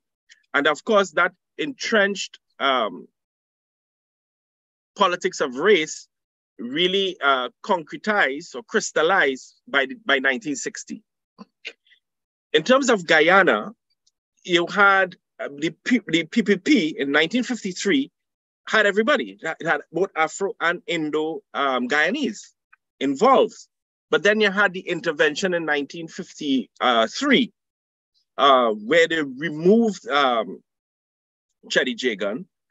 And I'm suggesting that that intervention provided a space because Burnham, who was he was originally a lot of people forget that, but Burnham was originally part of the PPP. He left in 1955, right? And he felt that listen, for him to get mass support, he wanted to um, attract the Afro Guyanese bourgeoisie and petty bourgeoisie, as Francisco was uh, mentioning. And so I'm suggesting that it is the direct intervention of these imperialist powers that broke up the sort of what was emerging as strong class-based parties with socialist agenda um, agendas. They deliberately broke those uh, broke those things and therefore provided a platform and a space for the emergence of the politics of race. Now you ask, okay, how does Jamaica fit in that? I want to suggest that they did a similar thing, but they didn't, but they didn't have the race card to play. So what they did is by the forcing the and into what I'm suggesting, the intervention that led to the expulsion, uh, in particular of the four H's in 1954. What that did is led to the politics of the gun politics of gangsterism because they didn't have the race politics. So what am I suggesting? That the intervention of the US, of the imperialist powers in 1952 in Trinidad and Tobago led to uh, the space for the emergence of the politics of race. Intervention in 1953 in Guyana did the same thing. And the intervention in 1954 in Jamaica did not emerge the politics of race, but the politics of the of, of gangs. So that was the first question. On to Francisco uh, question. I think one of the things we have to contend with, um, especially in, is, in the West Indies, is the process of bourgeoisification. That is a serious process. By the bourgeoisie and the elites taking complete control of the ideological arm of the state, it engaged in a systematic process of deep proletarianizing the workforce. I don't know, I, I kind of create a new term there, right? Which is to suggest that in order for one to have uh, better material conditions in terms of your reproduction of your daily life, then you have to fall in line with the neoliberal order. Okay. And I think this has created um, um, a lot of difficulty in trying to even forge alliances. Because uh, in terms of, uh, for sure, in Trinidad and Tobago and in Guyana, the petty bourgeoisie and the bourgeoisie, in both Indo and Afro, they want to maintain their control over these structures of power. Um, and therefore, what will be required is a strengthening of the class consciousness of the workers, both in the agricultural, service, and industrial sectors, because I do agree with you that the this new um, new informal sector of workers, which is huge, it's it's it's incredible. That they they, they formerly, you know, some people call it the precariat, right? I think that is where we have to begin to organize and mobilize. More, I, I really think that is where our strength for a socialist agenda will come from alliances with the petty bourgeoisie, I see that as not tactically, as a political tactic. Um, I would not, I would, I would venture to say that that will prove to be um, to the detriment in the long term of a socialist agenda versus organizing and mobilizing the workers in the informal sector or the precariat. And so that they themselves see themselves as part of a proletarian consciousness two difficult questions that I tried my best to to give. Um, each one of those questions is of a whole session by itself, by the way, right? So I tried. Can I come back very quickly with a comment and, and leave it, if that's okay? Because it's a fascinating conversation. Nadim, can I? Fine, it's good, Francesco. It's really interesting yeah. conversation. My, I mean, I, in my question, I couldn't clarify this, but my, my understanding of the alliance is this. Unless the proletariat, that is to say the socialist consciousness part of it, has hegemony over the alliance, then it will happen what you're just suggesting.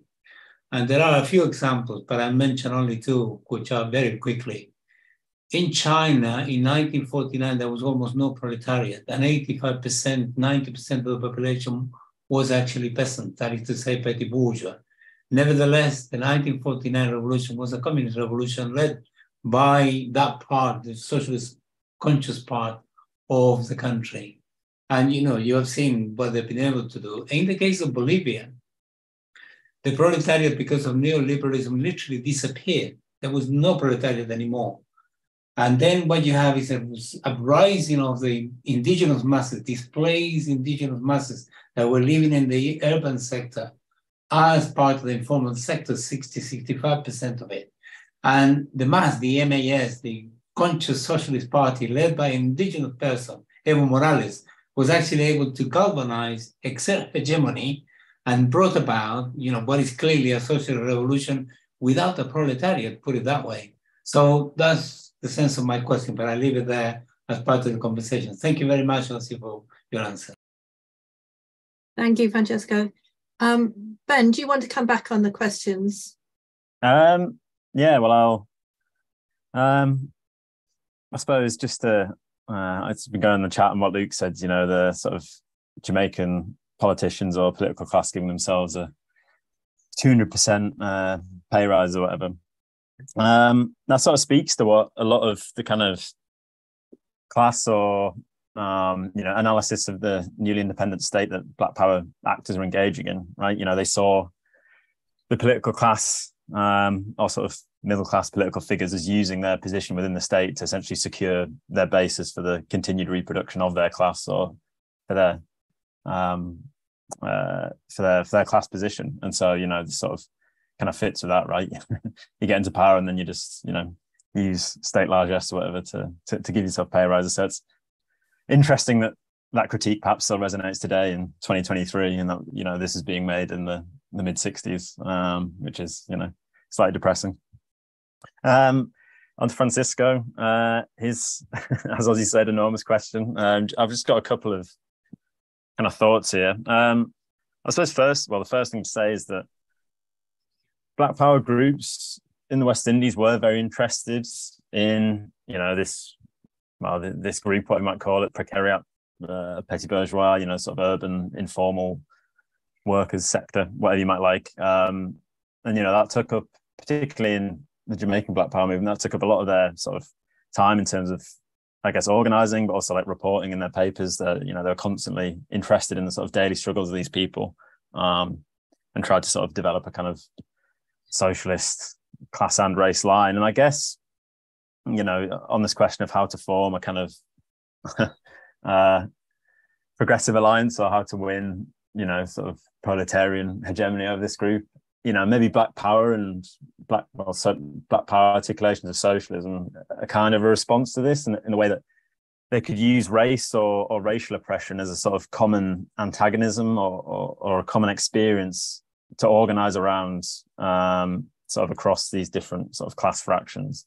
Basically, I think you know to varying degrees and, and, and with varying intensities amongst different trends within the Black Power movement, this is something that was kind of attempted, right? And so they would appeal to, you know, people's essentially, you know, shared position within a white supremacist world system uh, and sort of use that as, as sort of a basis. Um, and again, as I was saying in, in my talk, you know, the sort of analysis of imperialism and neocolonialism that was sort of really central to, to what Black Power was doing. Again, you know, I think um, sort of developing what I just said there, you know, this focus on um, how sort of the imperialist world system had shifted and how it sort of you know uh, moved to incorporate these newly independent states and you know sort of these new bourgeois nationalists and, and bourgeois nationalist leaders. Again this sort of developing a sort of clear kind of anti-imperialist analysis or line um, was a means to sort of raise a collective consciousness around socialist transformation. Um, you know and again sort of appeal to this shared position of you know uh, oppression within uh, an imperialist world system or being oppressed by imperialist forces you know despite these different class fractions or sections. Um yeah and so i think as, as incoherent as those thoughts are you know i think black power has you know or was trying to grapple with these questions um in the 60s in in different ways of course. The context new but i think you know there's sort of something in there perhaps you know thinking about again, neocolonialism, uh, an anti-imperialist line, all this sort of stuff. Thank you, Ben. Um, we've also got somebody who's been been trying to come in. Um, would you like to talk now, Palmer, and ask a question?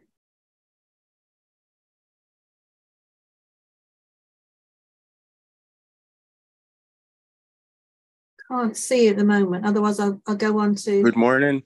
Oh, good morning. Do you want to ask a question? All protocol observe. Um, no, it might not be more than where you are now, but I okay. just have a question to Ozzi and Francisco. Um, due to the movement of Lula and Maduro, um, Brazil and Venezuela recent geopolitical, um, you know, victory, so to speak. What signal do you think that sent to socialist minded persons in the Caribbean? And the second question, um, does or do Jose or Francisco see um, the see the movement of Brazil and Venezuela as a moral victory um, for socialism? Thank you. Thank you. Um, I'm just going to take the question from Joseph and then ask the speakers to respond to both of them. Joseph, yeah, good, yeah, good morning, good afternoon to everybody. And well, and I'm very impressed with the presentation, particularly the second, the last two. I didn't hear the first one. Uh, in terms of my question and a comment, um, in the past, the Caribbean have influenced different parts of the world, including Africa, in terms of the momentum of, of, change or resistance against colonialism and imperialism. Is it possible that this time around, what is happening in Africa could help to give impetus to a new, a new stage of evolution in the Caribbean? I'm speaking particularly about what is happening in South Africa, where the ANC is falling apart, and you have you having the rise of the EFF, the Economic Freedom Fighters, who just scored a big a victory in the free, Orange Free State, I think, um, against the ANC. Uh, do we see, and then the effort for unification of Africa uh, uh, from a, a continental point of view. And since we were talking about Black power and nationalism and um, that kind of thing, do we see that some energy flowing over to our side from what is happening there? And also the fact that Africa is beginning to stand up to imperialism. Do we see any any kind of benefit from what is happening? In fact, I've, I've often heard many speakers from Africa reference the Caribbean whether it's Cuba, whether it's Frantz Fanon, and uh, uh, the other folks who have made a outstanding contribution to world scene. Can you comment on that for me, please? Thank you. Can I go to Ozzi first of all to reply to those two questions? And then Ben, and see if Francisco wants to say anything. Um, all right. Well, I think the two questions are sort of interrelated in the sense that I, I do see that the victory of Lula, um, as well as the continuity of Maduro. Um, but I want to throw in a mix to the victory of the Colombian president. Um, I believe Francisco mentioned mentioned her. I think that's also that is also important. And there were one or two other important victories. I think it's important because they pro- they do provide hope. Um, and I, I, I'll say why. If you recall, at the early 2000s with the emergence of Chavez and then the first uh, part of Lula's um, rule and so on, there was, of course, the feeling of victory and, you know, that there is the possibility of socialism again. And this is right coming out of the neoliberal era. But then there were a couple setbacks, huge setbacks, right? Constitutional coups, um, and, and of but I, I think people were sort of watching to see are, are these setbacks permanent? But with the re-emergence of Lula, the victory in Colombia, Maduro continuing um, to hold on, I think now you begin to feel a greater sense of hope. I'm saying that there's a difference, meaning the, uh, uh, after the first rounds, you're kind of watching to see because it's now emergent, and then you see the setbacks and you're thinking, okay, maybe it was just a, a sort of flash in the pan, but then you see the struggle and the progressive movement really persevering and holding on. I mean, even in Bolivia with Evo Morales, you saw some setbacks there, but then you see again. So you, now that there is this sense that there may be a possible permanency of progressive politics and socialist agenda, I think that offers hope for the, the, the rest of us, definitely. Now, in terms of the second question with Andrew, there is there has always really been this sort of global connection. And I believe Ben was capturing that quite nicely in his presentation, where we sort of, you know, the different, uh, let me see how to put it's it, instead of seeing it as insular movements for freedom, we really see it as sort of a general type of collective spirit. I kind of mentioned, I kind of, it's a talk we had some time back, and I was trying to allude to that. This, this, so there will all there is this connection between Africa, um, the Caribbean, the Latin America, and so on. I mean, in addition to the contribution of the Caribbean to, to let us um, to socialism in recent in the recent past, let us also remember Haiti, the contribution of the Caribbean to that, even the idea of, of, of a black run state globally. So there's always been that inspiration and it will go back and forth depending on the, the, the, the balance of forces that are existing in each territory. Uh, but I do think we are we, we are witnessing a an emergence of a new era. And we I want to put that in the context of the failure. We cannot forget the failure of neoliberalism. And that is what is given us a chance now because people are seeing that neoliberalism that was projected as the ultimate end of history, we realize that no, that too is was a temporary moment in history, and that there's still more to come. There's still there is alternatives, or there are alternatives, sorry, and that the socialist agenda is a genuine, permanent alternative. And that is crucial for going forward, for not just for, for the Caribbean, not just for Latin America, not just for the Africa, but for humanity as a whole. Thanks, Ozzi. Uh, ben, is there anything you want to comment on these two questions? Um, yeah, maybe just briefly on the on the on the, the last one there. Um, yeah, obviously, as as Ozzi was saying, you know, there's of course endless historical links between the Caribbean and, and Africa, and so um, you know we could spend ages talking about that. But as I mentioned, you know, Haiti, you know, as I was discussing in my um, presentation there in the paper, you know, there's a consistent focus on events in Africa by the Black Power movement. Um, you know,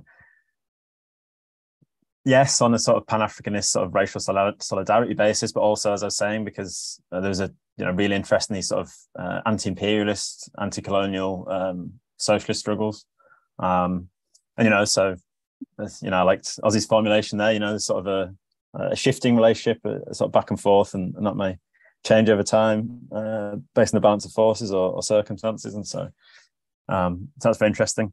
I suppose my kind of uh, you know uh, thing thing to add here would be you know the in the question there it was talked about increasing levels of I guess continental solidarity against imperialism in Africa, or a move towards sort of a, a more uh, regionalist approach, regional integration. That sort of chimes with what Francisco was talking to us about earlier with, with South America, it would appear to me. And so, you know, if this sort of trend of sort of greater integration or cooperation in the in the global south, um, you know, in Africa, in, in South America, and, you know, in in the Caribbean potentially or hopefully, you know, to to sort of stand up for or you know to, to try and I don't know counter force of imperialism, you know, to sort of, I don't know, delink perhaps from, you know, sort of certain imperialist structures and, and systems um, is something to be commended and, and hopeful for, uh, even if it's early days. Um, and, you know, I think this, you know, speaks to sort of the broader global situation, right? You know, Francisco mentioned multipolarity. Well, you know, it's, it sort of looks like sort of the, the age of US imperial hegemony is perhaps coming to an end, or certainly weaker than it has been previously. And so this is, you know, potentially a kind of um, important time or important moment to be building these sort of connections or building mm-hmm. these sort of regional linkages or solidarities, uh, you know, in order to sort of hopefully advance a progressive or, or socialist politics. And so, yes, I don't know. That, those are my thoughts there. Uh, however incoherent, but um, you know, I think there's some nice through lines actually between all all three talks today. So, yeah. Thank you, Ben. Francisco, do you want to add anything? Um, very briefly, just to say, I subscribe every single word of Ozzi's reply on that particular question, including the comments. Um, this is not just an epoch of change, it's a change of epoch. And that's exactly right. So I leave it there because the answer has been fantastic and also what Ben said. Thank you very much. Thank you. Um, I'm going to take a quick question from Paul and Francis and then ask the speakers to come back. We're, we're running out of time a little bit. So, mm-hmm. Paul, do you want to put your question? Okay. First of all, um, I'd like to thank uh, Quayne. Quayne, a good friend here in Jamaica, who joined us, and thanks for asking the question, Quayne. Uh, I put a question in the chat for, for Ozzi, really. And I said, to what extent does the oil field workers union in Trinidad Tobago have a socialist um, perspective or even understanding? I ask that because to my mind in Jamaica, all of our unions, trade unions, so-called trade unions represent an effective aristocracy of labor. And there's not a great inclination to, to move in that direction. So I was wondering whether the oil field workers are doing any better. Thank you, Paul. Francis, you want to put your question?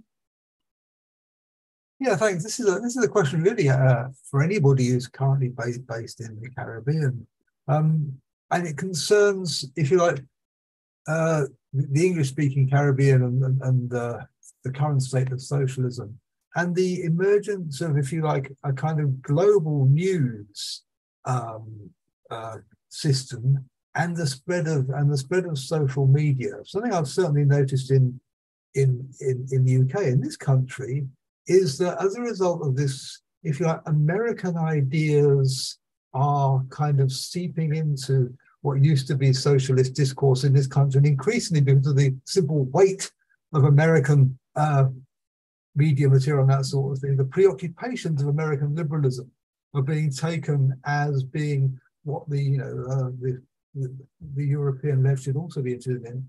I would imagine, in relation to the Caribbean, this kind of uh, external influence is even is even more weighty. Is it something which you're actually seeing, and is it sort of significantly um, damaging or possibly even benefiting the way things the way things are developing there? This kind of uh, kind of cultural cultural hegemony of uh, uh of the United States, even in it, even on the left.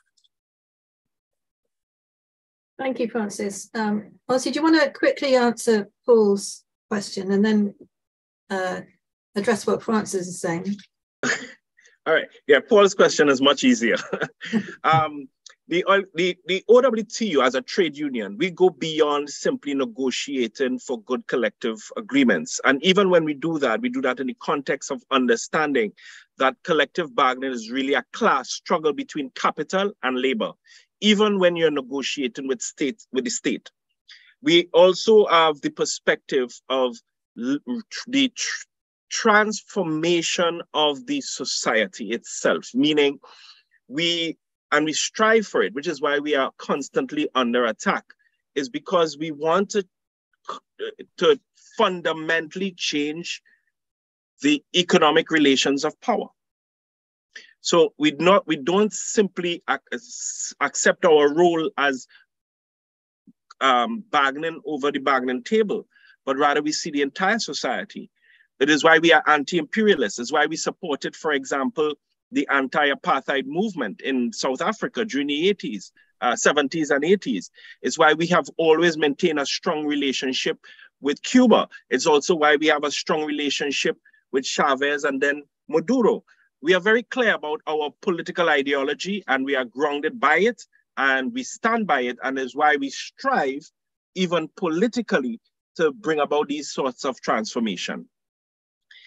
Um, Francis' question of cultural hegemony is a really, it's a big, it's a big question, and I guess, um, yes, it is something that we have to pay very close attention to, because that cultural hegemony can also lead to the rise of fascism if we are not careful.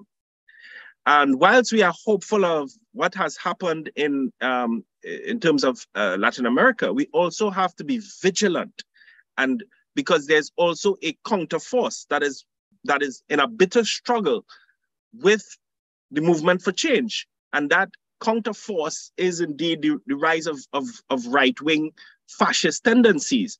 We cannot for one minute think that Trump may not win the next election. It is possible. Uh, we've seen the rise of the um, in Italy of a, basically a fascist um, uh, president who was elected. Um, and we've seen the rise of of, of rises, uh, fascist tendency in France and so on, and, and, and, and all across. So it, I just want to end by uh, saying that it is a continuous struggle, and that even though we have made some victories, those victories can be snuffed out if we are not vigilant to defend it. We should have been vigilant in 1983 We should have consolidated ourselves and defended the Grenadian Revolution. We didn't. We didn't. And I'm just saying that the progress we have made cannot be taken for granted. We have to be continuously vigilant to defend it. Thanks, Ozzi. Um, ben, do you want to come back on anything? Um, well, on Francis' question, I'll, I'll, I'll, leave the contemporary commentary for people, you know, actually living in the Caribbean. Um, but I suppose just on this, I guess, topic of cultural hegemony and, uh, you know, the US in relation to the Caribbean, right? We can see the emergence of the Black Power movement is sort of, in, in many senses, I guess, well, certainly its presentation, its sort of aesthetics and slogans is sort of a product of US cultural hegemony uh, in the Caribbean in a way, right? You know, because it was you know things like the US Black Panther Party, um, you know the key figures within that, um, who were very prominent in Black Power organiz- uh, organization activism.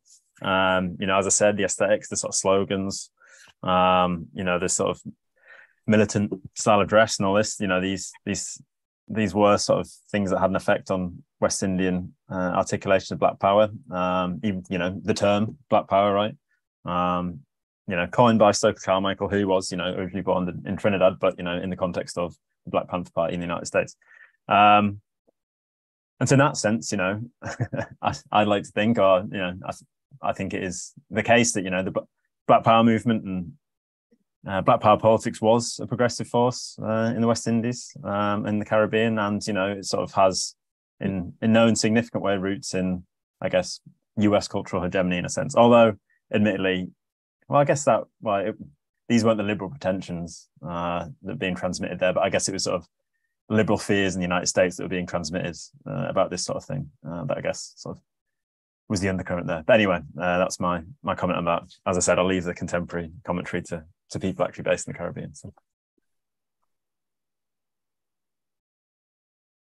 I, I just want to say, Nadine, I really don't think I properly address Francis' question. It is a big question, um, and it's something to reflect on. To, you know, the whole question of social media and uh, this question of cultural hegemony. U.S. Uh, attempt to impose its own idea of even freedom and liberation again on the Caribbean society is a, is a big one. Um, so maybe it's it's worth another publication of Socialist History Society.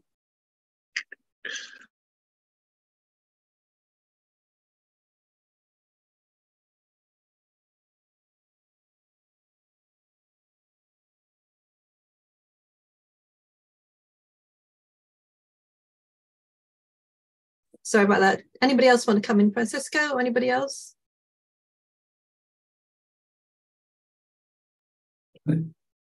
Um, just, I think the crucial battle is political.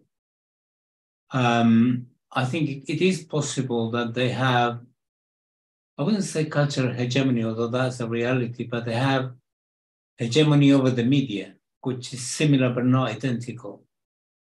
And in Latin America, certainly, even in the Caribbean, I think we've been able to make significant significant victories, significant gains, even though they have this massive control. I think the crucial question for me is when it comes to any gain you make, and you have to be vigilant and so on. The crucial question is not only it's not so much the narrative, although that is important, but it's how you are able to organize people in committees, in self-organized institutions that actually are you know, central to the stake of what is being fought about. Unless you organize the masses and they are active and play a protagonic role, then I think the possibility of just concentrating, I'm not suggesting anybody said that, but that you're going to be able to resolve the threat by just being able to sort out the cultural hegemony issue without that, the political dimension is, is, is a problem, it seems to me. And just um, to say, I've seen the the um, the chat, Um, it is true. I plead totally guilty that we didn't talk about women at all, which is a real, you know, shame. But just to say that most of the 845, 48,000 grassroots committees that exist in Venezuela, 80% of them are run by women. And the in Nicaragua is has been number five in the world in terms of bridging the gap gender. I mean, it's, it's close to Norway and this sort of thing. So there is plenty that has been done and is being done already in Cuba, you know, has more women in all sorts of positions at every level of society. And that's what socialism does. And it is it's a shame that we haven't mentioned that. So I apologize for not having done it, but it is taking place. Thank you. Um, Joseph, do you want to come in briefly? We're going to have to finish it at four. And then Steve. Yes, um, uh, in terms of the cultural hegemony, I'm particularly concerned of how we've been fed the narrative of the West, uh, the global West, uh, especially in relation to uh, position on the conflict with Ukraine and, and, the United States. I mean, with Ukraine and uh, with Russia and, and, and NATO, uh, because most of the information that the average person picks up and internalizes is what is fed by the BBC, CNN, Fox, and there all other alternative information. Yet at the same time, that's where I want to come in. Some of the alternative information that comes in, it's, uh, highly, uh, greatly factual, but it is from a Trumpite. You can see, if you know how to read through the lines, you can see a Trump or, or, or conservative trend in it. Okay, we are against the war in Ukraine. Uh, um, uh, uh, uh NATO's uh, involvement, but I mean, Trump is the solution, that kind of stuff. So unless you're able to read through the lines, you can end up, you know, finding yourself being, I mean, uh, a supporter or, or being rushed away in that kind of uh, hegemony. I hope I'm clear enough. Mm-hmm. And I want to support uh, Marsha's point in terms of gender. Thank you. It's American. Um, Steve, do you want to have the last words? Yeah, uh, just to say that uh, on Marsha's point about the uh, uh, uh the role of women, social, Caribbean Labour Solidarity published about six months ago a pamphlet by Marsha and Luke on that very question. Uh, now, I'm not suggesting that we keep these things separately, uh, of course, but what I am saying is that we, we did publish that.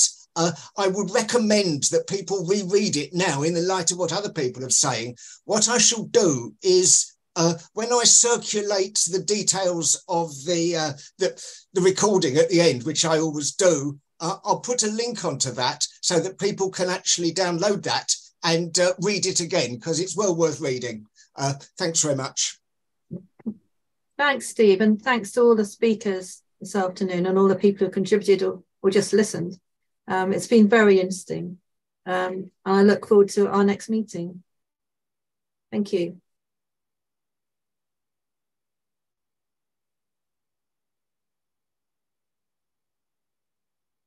I thank you, comrades. Thank you very much for the invitation.